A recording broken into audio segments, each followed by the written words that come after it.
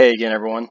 Um, in my first video I did a bit of a simulation and sort of explanation of the ultraviolet catastrophe with a bit of history behind it. Um, today we're going to jump straight into the math and the, uh, the derivation of the problem. Okay, so without further ado, um, we already know that we have this box, this theoretical box. Um, a couple things I didn't say in the last video. Um, this box likely exists in the vacuum of space, okay? Um, there is matter inside the box, and let's just say there's gas. Let's just say there's there's gas particles flying around here. This will be important when we when we say that this thing is at thermodynamic equilibrium. Um, and the internal heat and the internal temperature of this thing is not changing. Um, but the thing we said in the last video is that everywhere along the edges the electric field is zero. Okay, so this is our this is our cube in space, and this is the object that we're going to. The goal of this is to say, okay, there are these standing waves set up inside here.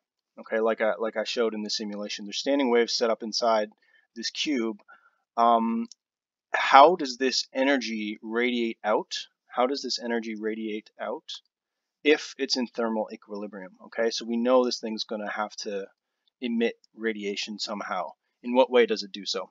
So that's what we're going to dive into today, and, and we'll see where it leads us. The first thing we're going to write down is the, uh, the wave equation, which some of you may be familiar with. But in general, it's, it's a partial differential equation that um, is true for, um, it's generally true for any wave. So of course, in the case of an electric field, we're going to use a standing wave inside this box. Okay, so that's that's sort of the first thing we'll note, and we'll we'll come back to this. We we can observe that since we are saying that there are electromagnetic waves, standing waves setting up inside this box, we know that this is going to be true. Um, another thing we can observe is that standing waves have a particular format. And there's you you can look at Fourier series expansions and solve for coefficients, but there's a very simple way to establish the equation as well. And that I'm going to say that E, which in general is a function of x, y, z, and t, um, has some amplitude, E0, but I'm going to say it's a sine function of some component of x, sine of something of y, sine something of z, cosine something, ah, let's say sine. Let's say sine, doesn't matter, sine of t. Okay, so what, what are these little things in here? Normally we would see the wave vector, and in case any of you aren't familiar, if you have a wave propagating, say, in this direction, and there's this propagation of this wave, and there might also be a, a magnetic field component to this thing. Okay, this is a common representation we see.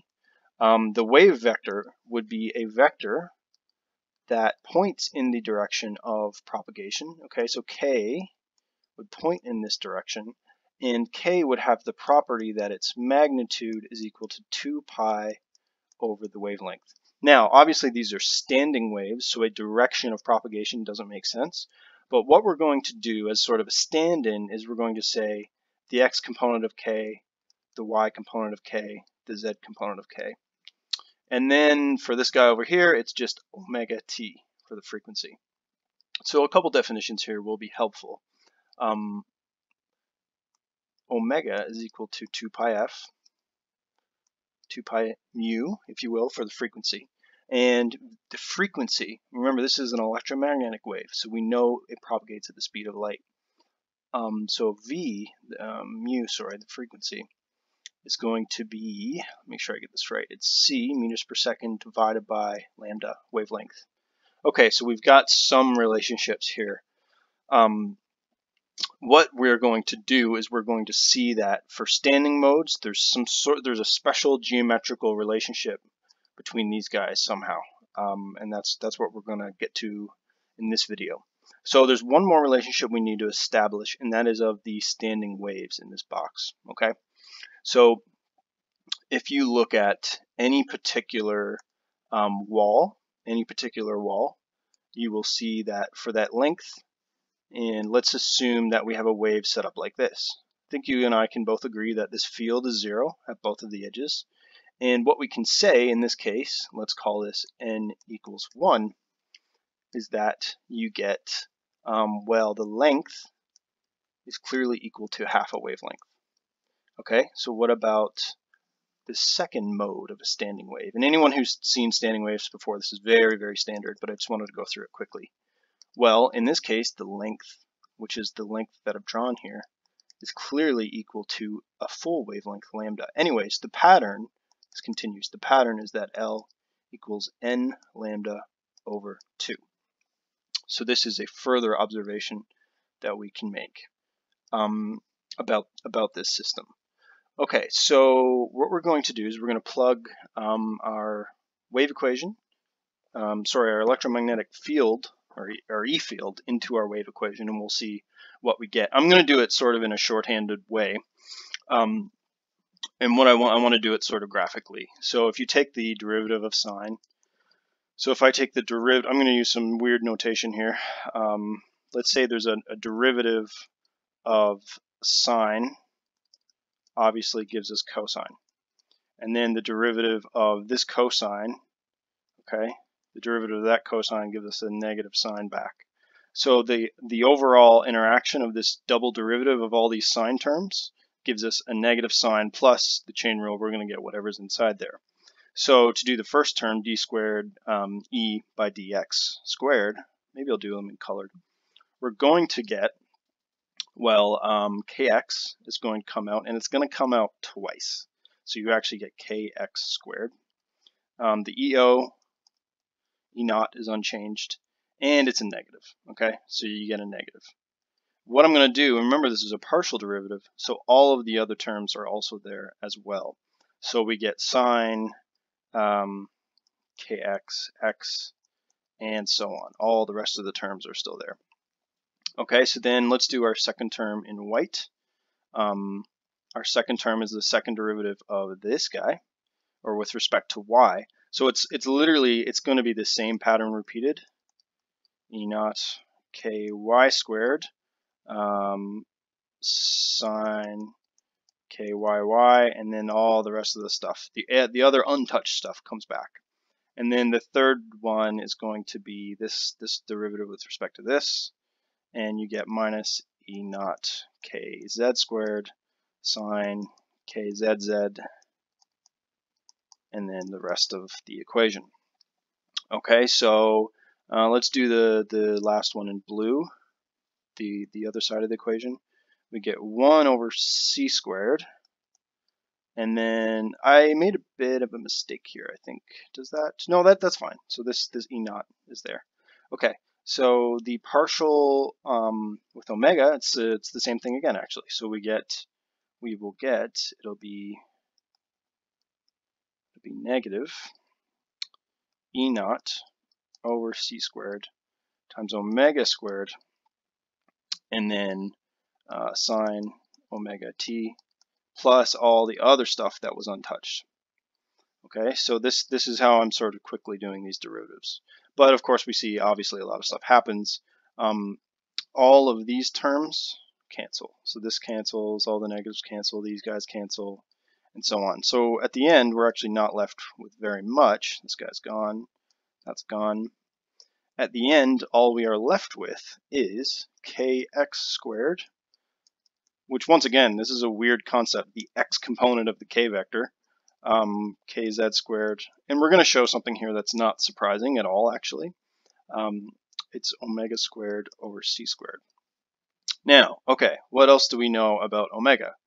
Um, omega, we're going to try to get this back into a format for, for this. We want to see magnitude k. Well, let's do it another way. I'll, I'll show this to you in a, another way. We're going to take this guy and square it, and I'll just, we'll do, we'll work in reverse because it's easier. What's the magnitude of k squared? Well, it's um, 4 pi squared over lambda squared, okay? So this is 2 pi um, frequency, mu, so it's c over lambda. And then c is actually equal to, um, let's say lambda, oh, we can leave that as c. We can leave it as c. Because what's going, on, so this is squared, and this is squared. And what do we notice? This is gone, this is gone, and sure enough, we get this thing equaling 4 pi squared over lambda squared, which is what's inside here, okay? So, all right, what, what have we shown? We haven't really shown anything too interesting yet. What we've shown is that kx squared plus ky squared plus kz squared equals k squared. Okay, surprise, surprise, k is a vector. This is probably something we already would have known if it was a vector of three components. Um, but what we want to do is we want to plug in these sort of fictitious definitions for um, for lambda. Okay, so if this is 2 pi, maybe I should clarify this a little bit. This is length, and this is lambda x. This is nx lambda x. So these are sort of funny, funny definitions. You don't normally hear about a wavelength x component or an x component of a mode. Um, but we're going to see how this is useful in a second. So this is clearly 2 pi over lambda x squared plus 2 pi over lambda y squared plus 2 pi over lambda z squared um, equals 2 pi over lambda squared. All right, and we also have relationships. Let's take this relationship and work it out one step further. We will get um, lambda x equals 2L over NX. Okay, so um, first of all, we're going to cancel all of these pi's. We're going to get rid of those. And what we're left with is, on the bottom, we get 2L over NX squared plus 2L over NY squared plus 2L over NZ squared equals, and then this guy is going to be, well, this is our standard definition. It's 2L over N squared. So, and this, this um, let's make a quick note here. This, this final one, this would be for a normal wave, a normal, didn't write that very clearly, a normal wave. We can observe this, this, this N, this standing wave. And, but we've sort of fictitiously created these um, but they're not they're not so fictitious as we'll see soon because they they will correspond to the mode of each side of the the container.